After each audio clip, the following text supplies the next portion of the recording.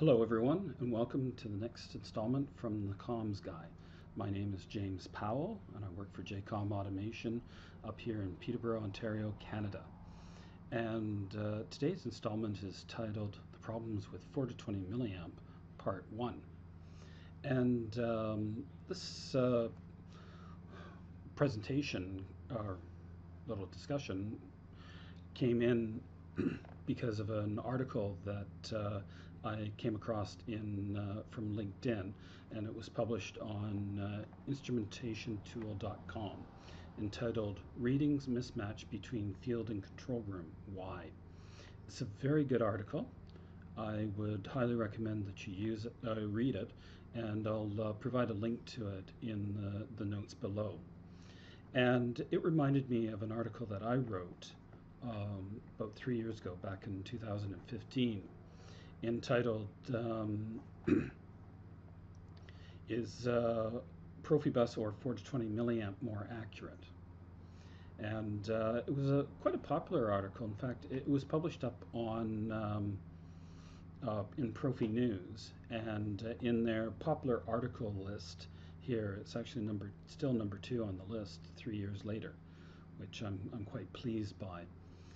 And uh, in this article, I go over the problems with uh, 4 to 20 milliamp, and I refer to it as the elephant in the control room. It's you know this problem that everybody knows about, but nobody really thinks about, and they're just ignoring it. But really, it's quite a large problem.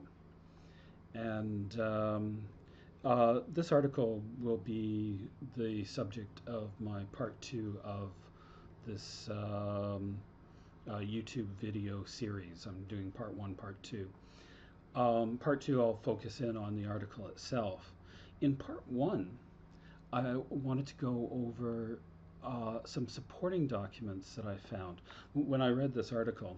And by the way, this article, Reading Mismatch Between Field and Control, it's quite a companion piece to mine because it brings up it's looking at things from a slightly different angle. So it's showing different things, although there's uh, definite overlap between the uh, the two articles. So I was reading this and I was remembering back my article, and then I was remembering some uh, videos that I made at the time, and uh, I went into my archives and I found them, and I thought, hmm, this would be rather interesting to show people. And uh, because when I did them, or when I tried out this experiment, it absolutely shocked me. So let me bring up the, the first video here.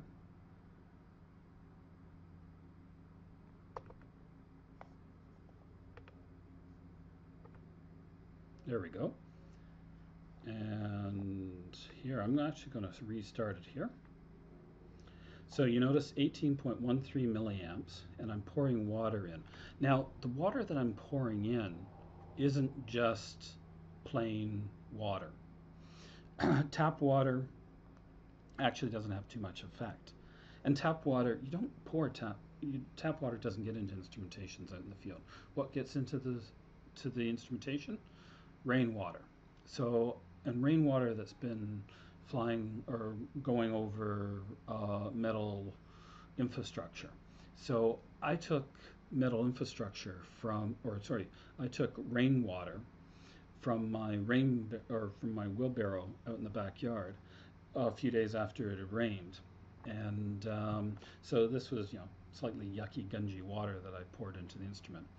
And as you could see, the, the value went quite uh, crazy. And here, here, I'm going to just play this one again. so I pour it in, it goes from 18.13.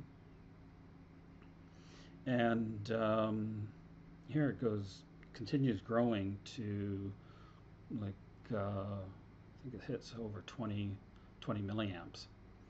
And um, now, meanwhile, the control room wouldn't know this at all. So here you have a wild variation, and unless you were looking at things right at the time and think, oh, why did that suddenly change like that? Or you think, oh, that's probably a process change. And uh, you wouldn't know it. There's no way of knowing. The value just changes. You don't know it at all. Well, when I was doing this, I was thinking, well, okay, how does it react with Profibus?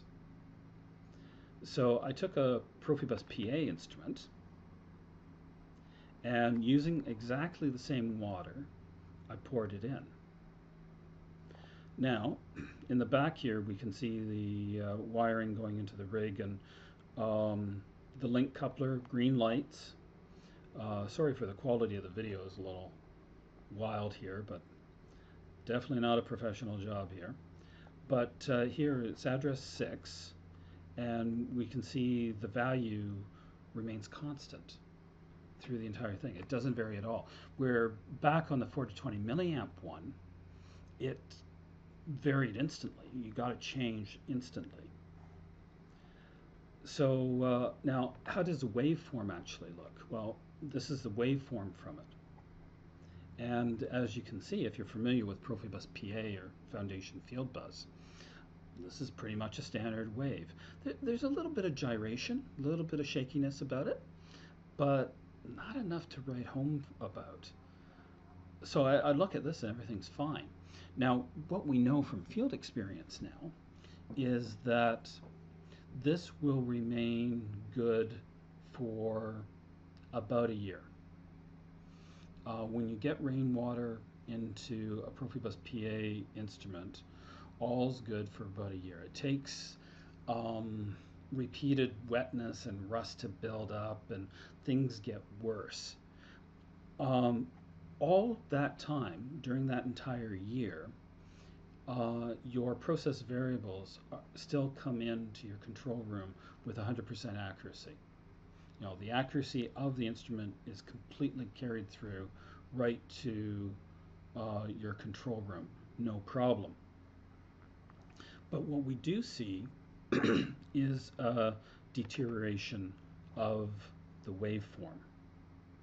And um, here, let me just, uh, whoops, blow this up a bit. And I'll position it a little better on your screen.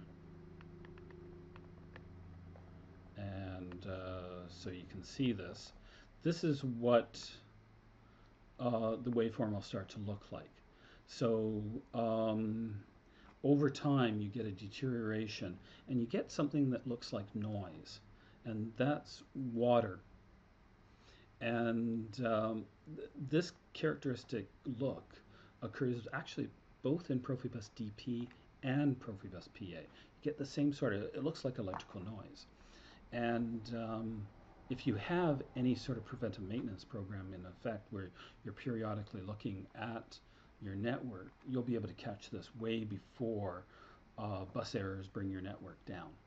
Now, if you're not looking at your network, you don't have any preventive maintenance in effect, then you'll find out when your network goes down, which is unfortunate, but you still keep 100% accuracy, where if you're using uh, 4 to 20 milliamp, you're gonna you're not even gonna know that there was a problem.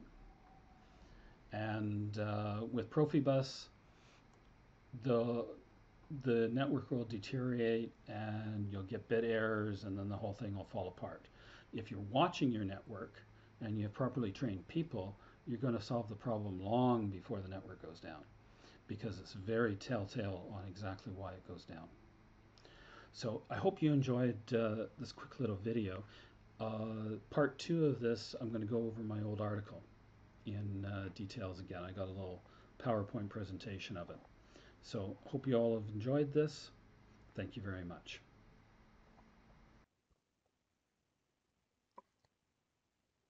Today's video has been presented by JCOM Automation Incorporated. For more information about our products or our training courses, please see www.jcomautomation.ca. Thank you again for your time and attention. My name is James Powell. Bye.